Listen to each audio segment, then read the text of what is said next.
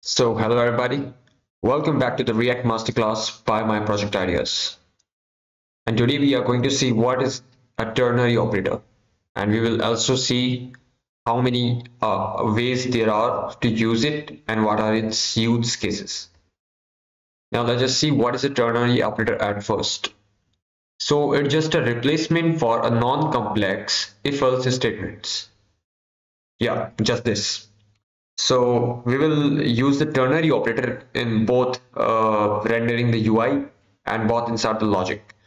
So it is such that uh, its syntax is very simple. It makes uh, if else statements to be very simple or one liner you can say. So the boolean condition is followed by a question mark. So first we will state the boolean condition and then we will type the question mark and then we will write the code that will execute if the condition is true and it is it will be followed by a colon and after that the code that will execute if the condition is false. Simple, right? So the first code block will execute if the boolean condition is true and the second code block will execute if the boolean condition is false. So here are the use cases for the ternary operator. So it is used for rendering components or JSX based on the conditions.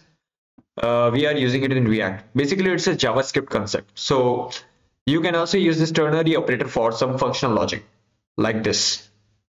For example, in the JSX, we are using it like this. So if somebody is logged in, suppose it is a Boolean state. If login is true, then this div will render. Otherwise, this alert component will render. So the first one shows how we can render the components and JSX elements like div based on certain condition and the second one shows like uh, but uh, based on a particular condition or a boolean condition we can uh, opt out for the logic like uh, I can return this particular string otherwise this particular string so there is a special case for the ternary operator also ternary operator inside the ternary operator yes uh, we can have nested ternary operators just like the nested if and else statement. Suppose you implement the logic inside the if else statements, then there can be nested if else statements too. So it's very intuitive to use another ternary operator inside of one ternary operator. So only the syntax will seem confusing, a little bit com complicated, but if you practice this, it will not hassle you anymore. So just like the previous thing, uh, it is a ternary operator uh, logic here. I can say that uh, if this boolean condition is true, then I can place any component or logic here and then the other cut ternary operator here in this else condition. Okay, now we will see the ternary operator and its practicality. So I just uh, made this app component to be empty. And what we can do is uh, we can define a state here, which is uh, suppose like condition which is set condition to be a use state hook which will be initially false or maybe true is better now what we have to do is we just have to place it place a dynamic code block here. And we will type a condition. If the condition is true then i will just uh, give like uh, a div uh, which I will assign some styles to be color of mm, green. Yes. And okay instead of it just make it a paragraph tag. It will be more simple. Then I will type here like uh, the condition is true. Same I will copy the same thing and after a colon sorry it was an emoji. After a colon I will type the same thing. But the color will be different like it will be red. So the condition is false okay so this one is the simplest example for a ternary operator. Here we have defined the condition which can be a state or variable or a prop coming uh, but essentially a boolean condition. And this will be uh, the first one uh, when the condition is true then this code will execute and otherwise this code will execute. Now let's just run our application and see. Okay. Okay. As you can see the condition is true. And it is in green in color. Because this condition is true that's why this statement is printing otherwise this. So suppose I if I make it false then let then let's see what happens.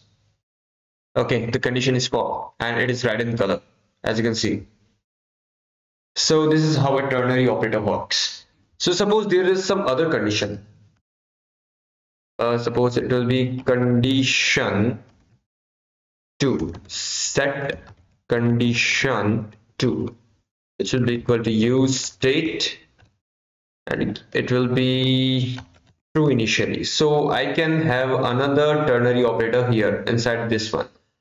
So just remove that and i will say condition 2 and if the condition 2 is true then i will um, have this uh, thing here copied.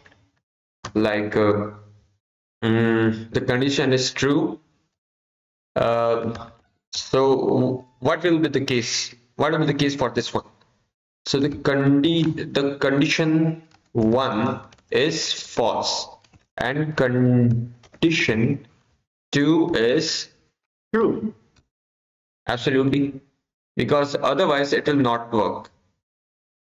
Similarly um, I will just copy this thing again and paste it here. So what what will it now be? So the condition one is false now it color being red. And the condition two is also false so I just uh, type the sentences matching uh, with that particular condition. Like if the condition 2 is true then this will happen. And this whole can only happen when this condition is false. So that why the first condition is false and the condition 2 is true then this will happen. And if the first condition is false and this condition is also false then this is the last resort. Then this will happen. Now let's check what happens because uh, this one is false and this one is true then I think this thing should render up. So the condition 1 is false and condition 2 is true. As you can see it's simple. What if the both of the condition are false? Okay the condition 1 is false and the condition 2 is also false as you can see. So this was how we deal with the ternary operators inside the UI so you can use the ternary operator instead of if and else statements it makes you write less lines of code with the same functionality so you can also create the nested ternary operators so this is an advanced method of writing code.